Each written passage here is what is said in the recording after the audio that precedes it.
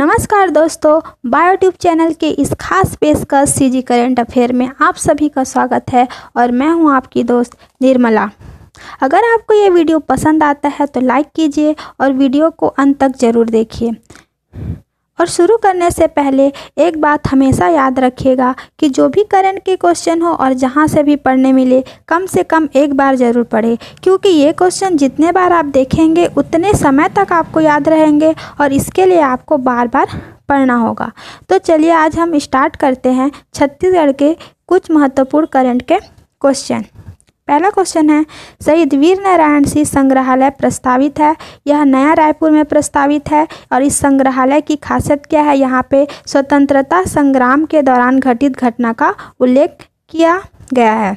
दूसरा क्वेश्चन है, राज्य स्वच्छ भारत मिशन के तहत कितने श्रेणियों में पुरस्कार दिए जाएँगे? तो पंद्रह श्रेणियों में पुरस्कार दिए जा रहे हैं।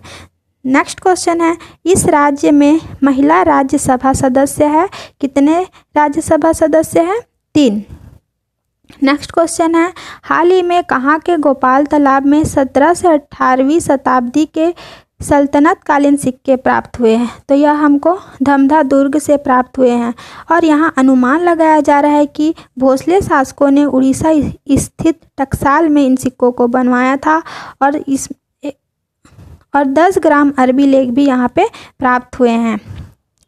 नेक्स्ट क्वेश्चन है, पुलिस परिवार कल्याण सेल की स्थापना की गई है। तो पुलिस परिवार कल्याण सेल की स्थापना नया रायपुर में स्थापित की गई है। नेक्स्ट क्वेश्चन है, राज्य का पहला ऑटोनोमस इंजीनियरिंग कॉलेज बना है तो यह बीआईटी दुर्ग में बना है। सातवां क्वेश्चन है, हरिहर भूइयाँ का विमोचन कब किया गया? हरिहर भूइयाँ का विमोचन मुख्यमंत्री ने हरेली के अवसर पर किया था और यह वन विभाग से संबंधित एक त्रमासिक पत्रिका हो, है। नेक्स्ट क्वेश्चन है, वर्तमान में इस राज्य में राज्यसभा सदस्य है तो राज्यसभा सदस्य कौन है? राम विचार नेताम। नेक्स्ट क्वेश्चन है, देश की पहली इलेक्ट्रिकल हाइड्रोलिक शावेल मशीन से कोयले का उत्खनन होगा, ये कहाँ पे होगा गेवरा में, जो कि कोरबा ज़िले में स्थित है। और गेवरा के बारे में कुछ फैक्ट देख लेते हैं।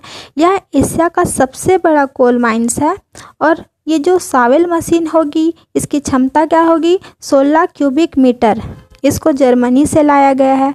और इसका लाभ क्या होगा? इससे जो, इससे प्रदूषण में कमी आएगी। नेक्स्ट क्वेश्चन है, राज्य का दूसरा काजू प्रोसेसिंग यूनिट है।